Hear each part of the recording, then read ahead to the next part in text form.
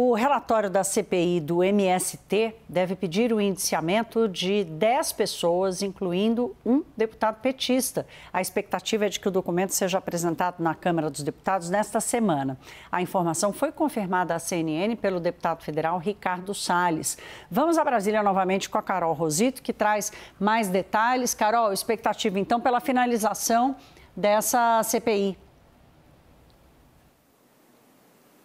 É exatamente. A CPI do MST está chegando na reta final. A expectativa é de que o relator, o deputado Ricardo Salles, apresente o seu parecer, o seu trabalho, a conclusão dos trabalhos na próxima semana para votar esse parecer pelo menos até o final do mês. A gente lembra que inicialmente os trabalhos dentro da, da comissão iam encerrar no último dia 14, mas depois de um pedido feito pela cúpula do, da CPI do MST ao presidente da Câmara, Arthur Lira, Lira concedeu ali pelo menos mais uma uma semana de trabalhos dentro da comissão. E o relator Ricardo Salles adiantou né, que tem a intenção de pedir o indiciamento de pelo menos 10 pessoas, entre elas o deputado federal Valmir Assunção, né, o deputado petista. Nos bastidores, Thaís, os governistas, né, a ala governista tenta é, reverter essa situação, negociar ali, articular para que Ricardo Salles não coloque, não inclua o nome do parlamentar nessa lista de indiciamentos, até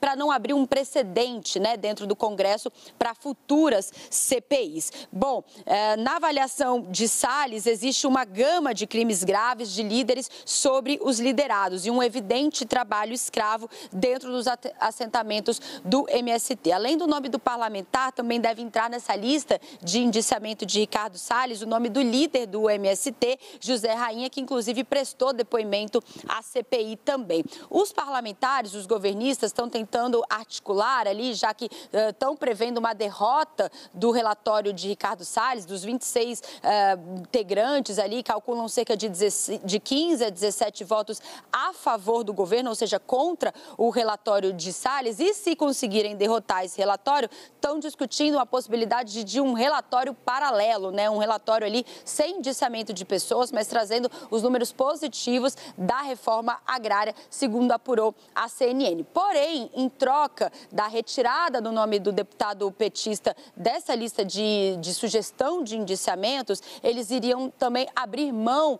da divulgação desse relatório alternativo. Então, tudo isso está sendo negociado ainda nos bastidores. Uma CPI que a gente acompanhou, pelo menos, durante os últimos quatro meses que estava em andamento, com uma, é, uma série de manobras né, que aconteceram dentro desse colegiado, Thaís, principalmente por parte da base governista, que conseguiu adiar depoimento, cancelar depoimento, trocar integrantes também dentro da comissão. Então, a gente está acompanhando essa reta final para ver o que, que vai dar essa CPI a partir de agora. Eu volto com você.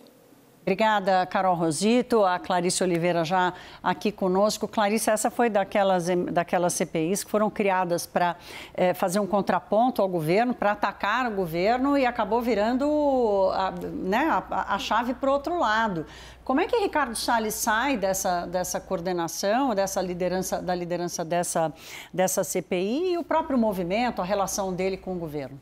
Bom, primeira coisa, né, Thaís, é que é, o Ricardo Salles paga aí o preço é, da composição, da recomposição da base aliada que o presidente Lula fez junto ao Congresso Nacional com a adesão aí de é, dois novos partidos à base, republicanos e PP. O PP, lembrando, partido do presidente da Câmara, Arthur Lira, que teve um papel central nessa virada é, de jogo ali dentro da CPI do MST. Originalmente, essa CPI tinha maioria oposicionista e estava ali é, fazendo bastante barulho, tentando dar trabalho para o governo Lula. E aí, com as negociações para a adesão desses dois partidos, Arthur Lira fez uma série de manobras, articulou isso nos bastidores, para que o governo conquistasse a maioria dos votos na CPI. Por muito pouco, Thais, mas muito pouco.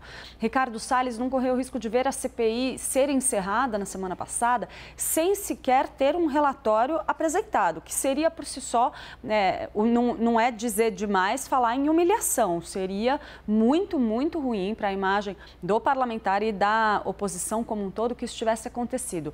Teve então o um movimento de Arthur Lira que deu mais tempo para essas discussões, mas a expectativa, dada aí essa recomposição da base aliada dentro da comissão, é de uma derrota. Ricardo Salles deve ter o seu relatório derrotado. O que pode ser que aconteça aí nos próximos dias é uma negociação nos bastidores para tentar algum acordo, para que não fique muito feio ali para a oposição, que pode né, também tentar oferecer ali algumas vantagens para a base governista, até mesmo em outras comissões ou em outras negociações no Congresso.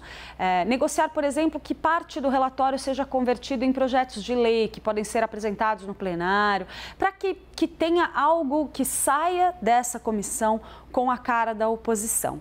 Muito dificilmente a gente vai ter o relatório apresentado no perfil que Ricardo Salles queria sendo aprovado. Isso é, isso é uma possibilidade é, praticamente nula. O mais provável é ou a gente tem uma derrota desse relatório, ou então a gente tem uma negociação onde partes desse texto podem sobreviver.